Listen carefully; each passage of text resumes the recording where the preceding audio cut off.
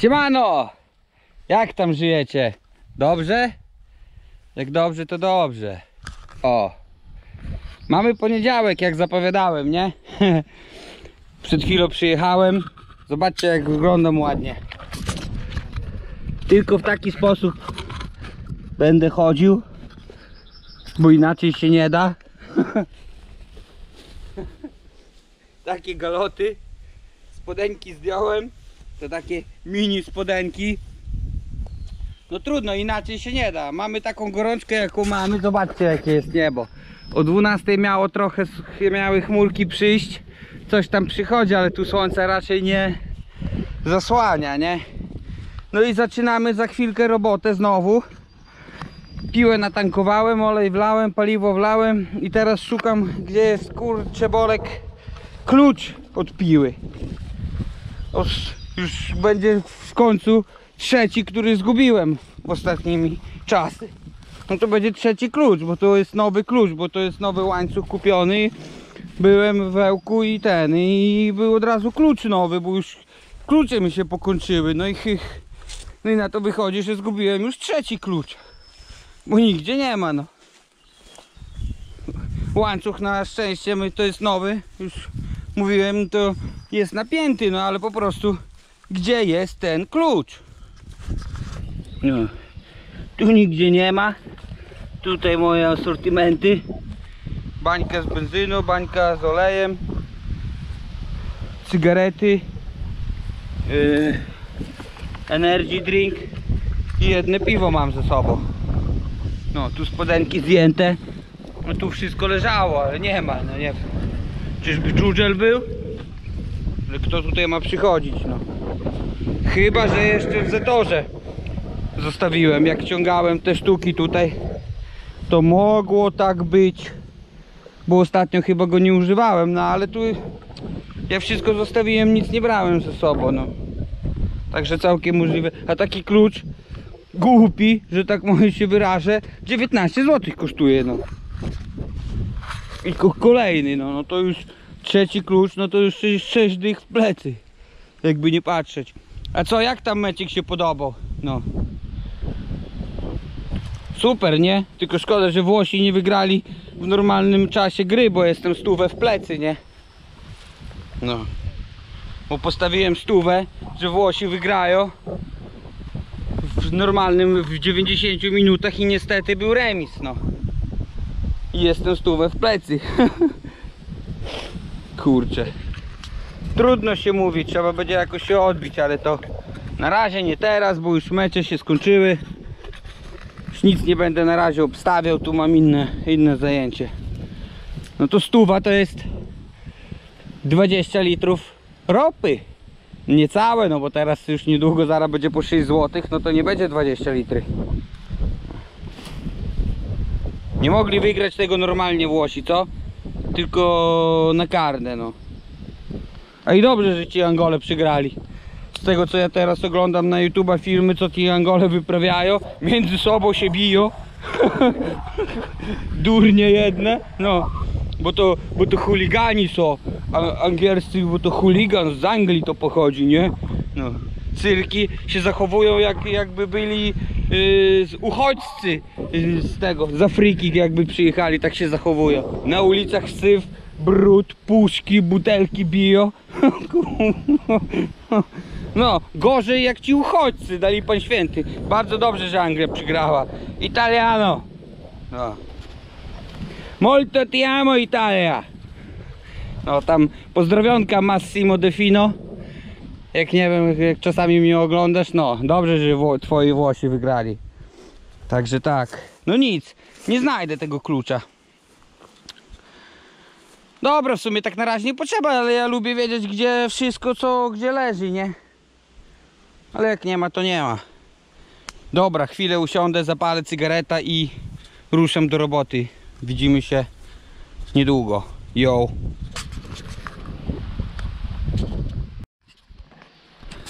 A tak nawiązując jeszcze do meczu, to Dania pewnie się z Angolii śmiała, nie? Bo wiecie tak, że jak e, taki gadżet był, że jak e, Dania zaczynała grać z Angolami, nie, mecz, to jak duński hymn leciał, to angielscy kibice e, zaczęli gwizdać, nie? Na duński hymn. A wiecie dlaczego to było spowodowane? Czym to było spowodowane? Bo na konferencji prasowej duńscy kibice się zapytali powiedzieli, jak to e, piłka wraca do Anglii, nie? Bo wiecie, że Anglia się tym szczyci, że piłka pochodzi z Anglii, tak? No dobrze, piłka pochodzi z Anglii, ale Anglicy nigdy nie wygrali Mistrzostw Europy, nie? I to, I to taka spekulacja była i że na konferencji prasowej duńscy tam piłkarze powiedzieli jak to piłka wraca do Anglii, jak wy nigdy jeszcze nie wygraliście Mistrzostw Europy. No i, i to było spowodowane potem te gwizdanie kibiców na duński hymn, nie? No. To widzicie no, ja- jacy to Anglicy są. A właśnie, następna rzecz to jest tak, tu muszę, dobrze, że telefon wziąłem, bo bym zapomniał, bo przyjedzie e, weterynarz, nie wiadomo o której godzinie. Odzwoniłem, ma przyjechać i zbadać krowę, czy będzie zacielona, czy będzie zacielona, czy jest zacielona, czy nie, bo była inseminowana taka duża czerwona, największa krowa moja i najstarsza, nie? Cała przewodniczka stada. Była inseminowana y, 12 grudnia zeszłego roku limuzenem. To ten weterynarz to robił, nie? Już kiedyś ją inseminował i było dobrze, nie? Teraz drugi raz jest inseminacja, bo ona nie może zajść w ciążę z bykiem. Po prostu nie ma rui. Ja muszę, y, wkładać jej wkładkę, ja potem muszę robić zastrzyki dla niej i ten, wyciągać tą wkładkę i potem albo inseminacja, albo puszczam bykiem, nie? Także już druga jest inseminacja, y, pierwsza poszła y, po- pozytywnie, także się udało, bo pierwszego cielaka miała normalnie, ruje miała z bykiem na polu i wszystko było git, to drugiej rui się zaczął problem jeśli w teraz nie będzie miała rui, bo już ona nie daje mleka i ona jest za, normalnie zasuszona, nie? Jeśli nie będzie miała cielaczka, także ja sprzedaję byki gdzieś może za tydzień, za dwa, cztery sztuki byków, to i ta krowa pójdzie jako piąta, nie? Dlatego zadzwoniłem do weterynarza, żeby przyjechał, zbadał, bo termin wycielenia ma w połowie września, a ja do połowy września nie będę z nią czekał i potem dzwonił tylko po to, żeby po jedną krówkę tutaj do mnie przyjechali. Także jak nie, mam nadzieję, że dzisiaj będzie. Muszę telefon trzymać przy dupie. Chyba jak będę żnął albo tu będzie ciągnik chodził, to nie będę słyszał nic. No. Ale coraz to kuknę zawsze na telefon. Yy, to ten. To najwyżej oddzwonię, nie? Bo jak nie, no to jedzie z nimi na kiełbasy i tyle tutaj. Nie będzie nikt z nią się patyczkował. Tam chodzi, daleko nie widać. Ja tylko grzbiet widzę. Bo mle ani już, ani ona mleka nie daje, ani nic. Jak nie będzie miała cielaka, to jałowa krowa, no po prostu, no. Teraz wyszła na pole e, w połowie maja, tak, to było troszkę, troszkę później w połowie maja wyszła, teraz się wypasła trochę. O, ona będzie miała 700-800 kilo. Ona będzie miała więcej jak te byki, te HF-y moje. Cielaka teraz, bo jest zasuszona, nie będzie miała mleka, no to to będzie po prostu dermozjat, tylko będzie trzeba ją karmić i chować, no. A to nie ma sensu, także to jest jej ostatnia deska ratunku. Jeśli nie będzie miała cielaka, nie będzie cielna, się nie wycieli mi w połowie września, przyjedzie może dzisiaj weterynarz zbada. No to dziękujemy i do widzenia. Jedzie z bykami na kiełbasę, także spotkacie ją na półce, w, nie wiem, w Kauflandzie albo w Lidlu czy w Lewiatanie. Jo. Hefy moje. Dali pan święty, ta krowa będzie więcej ważyć niż te byki, bo to te moje byki to słabe, naprawdę słabe, nawet nie będę pokazywał ile one kilo ważą, bo będzie wstyd. No. Taki Mirek mi nastręcił mi takiego gościa i to się okazało potem, że to bliźniaki i to, i to takie słabe, bo to ja mam takiego jednego typa, gdzie kupuję HF-y, naprawdę ja miałem HF-y po 860-880 kilo, nie? I to naprawdę były byki HF-y i z takiego cielaczka zapłacisz 500 zł, ale on ci urośnie, a te to gówno. Ja takiego nawet za darmo nie chcę, nawet żeby mnie, no, no może za darmo, no. Albo i za darmo nie chcę, bo tylko miejsce mi będzie zostawiał taki byk.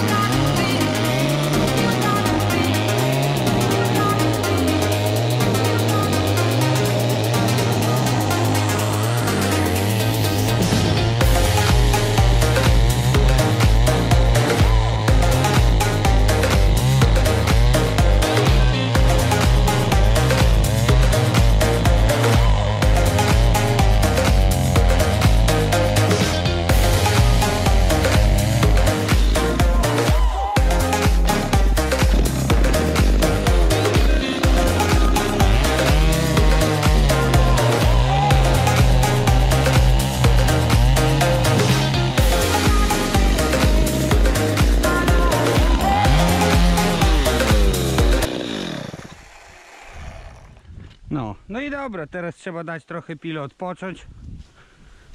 Ja sam zapalę papieroska. Co, trochę nażnięte, nie?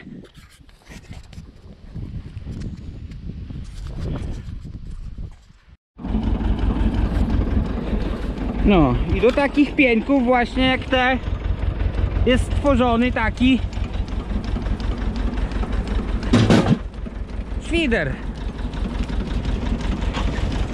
Tamten odziemek będzie najgorszy, zaraz zobaczę.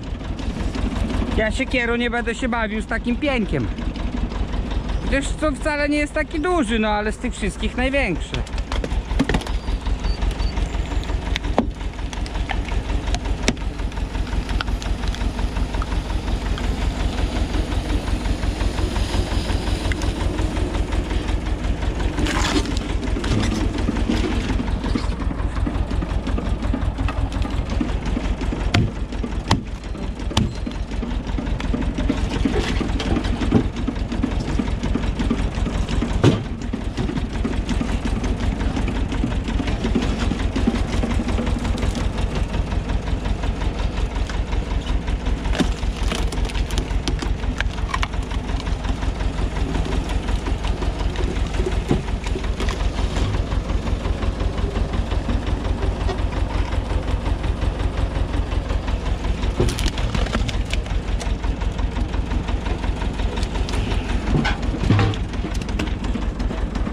No i teraz największy.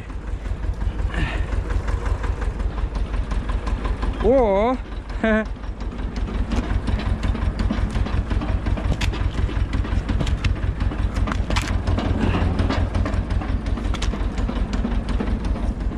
Podniosę to?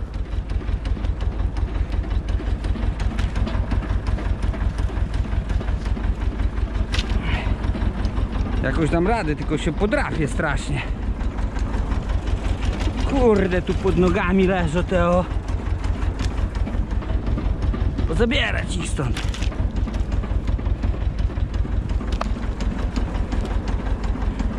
Ślimak widać szedł.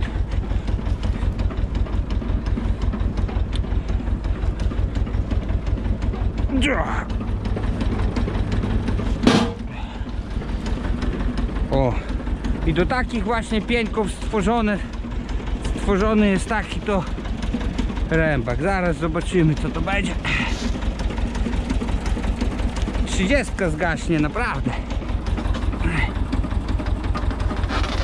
Idziesz? Musi zacząć się wkręcać, trzeba trochę napchnąć.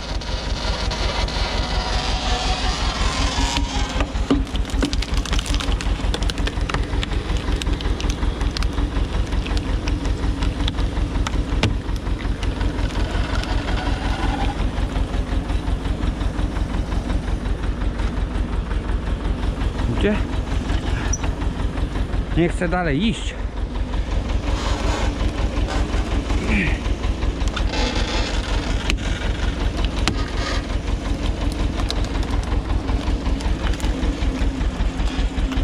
Ciągnij do końca.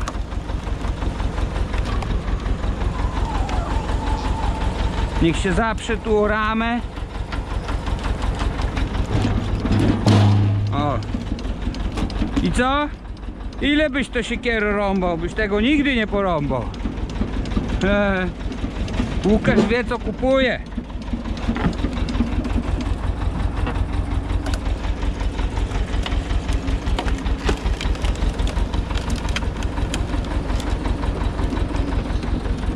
Patrzcie, proszę bardzo. Jego trzeba całego. Tu siekiero nie ma co się bawić.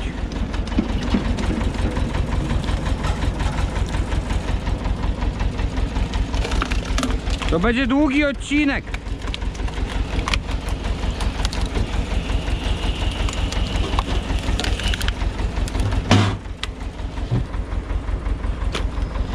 Mogę jeszcze go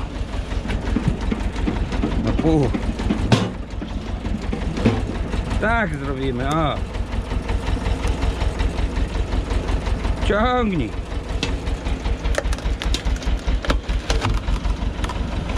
Aż przygasa ciągnik trochę.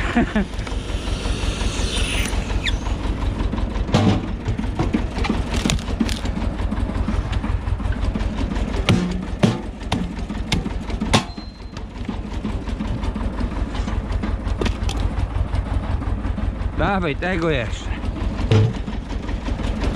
Ile, ile, ile kawałków z takiego pieńka wyjdzie, nie? O.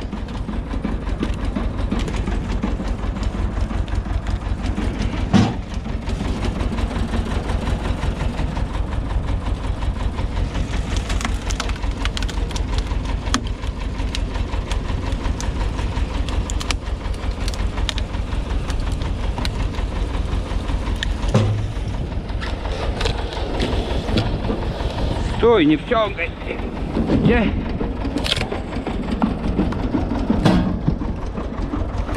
To porecek po zawsze potrzebny.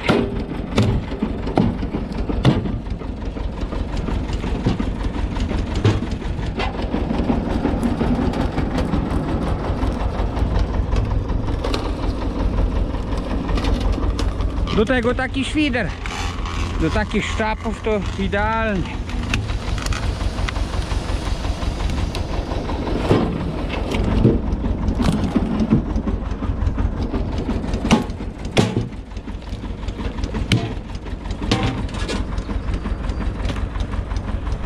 Ktoś mi powie, że ja zły zakup zrobiłem.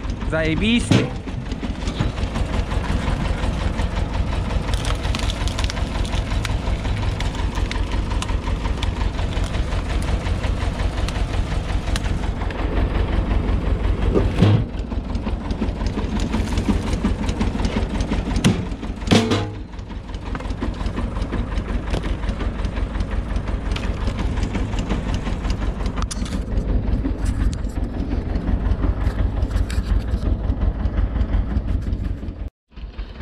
Kolejna część.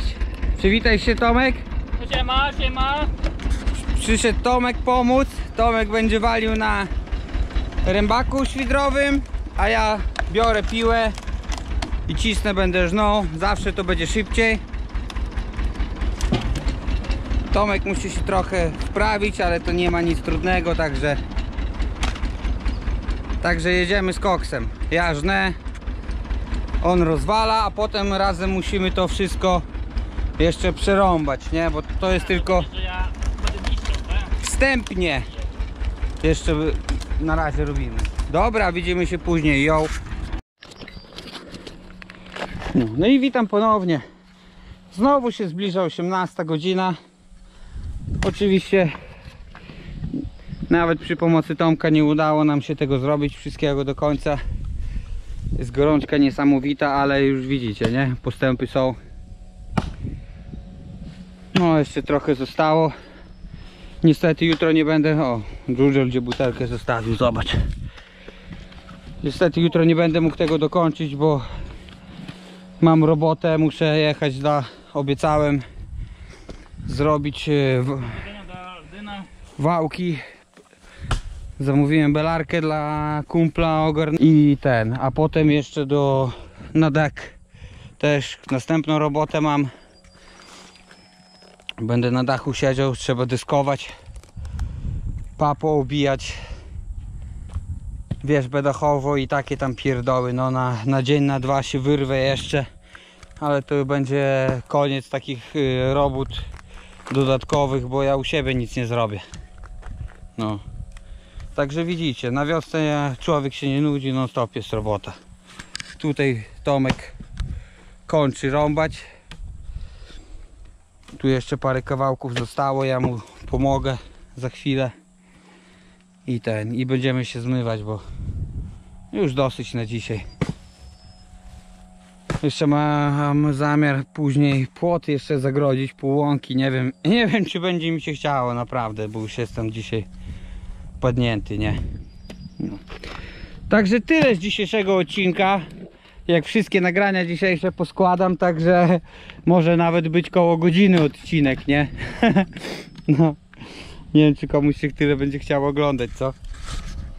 Dobra, to tam jeszcze raz dzięki wszystkim za oglądanie. Druger, pomachaj się, pożegnaj się z widzami naszymi. Jo, tylko siekiero nie rzucaj. No. I trzymajcie się do następnego odcinka. Widzimy się wkrótce, nie? I czekamy na żniwa. Elo! Nara!